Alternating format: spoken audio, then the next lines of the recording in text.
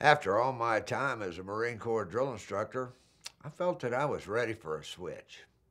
Something calm, quiet, and peaceful, like a library. Three months overdue. That'd be $94. Just kidding. Just try to do better next time, okay?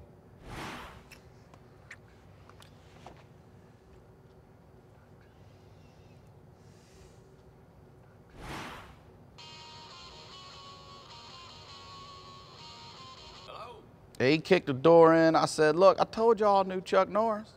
Yeah, hold on, hold on one second. I got my special teams coming out on the field. Whoa! Game over! In your face, kid! Shh. Library card, I forgot it. driver's license, Now I walked here.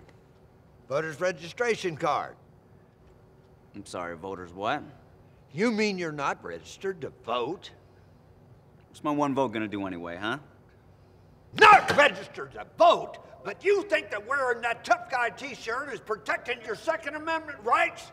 Listen up. You get your butt over to that computer station right now, log on to triggerthevote.com and register to vote. Yes, sir.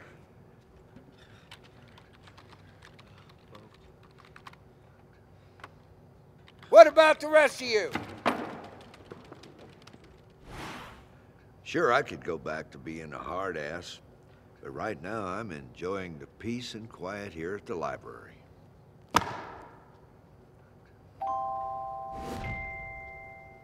You and I are going to get along just fine. Paid for by the NRA Freedom Action Foundation.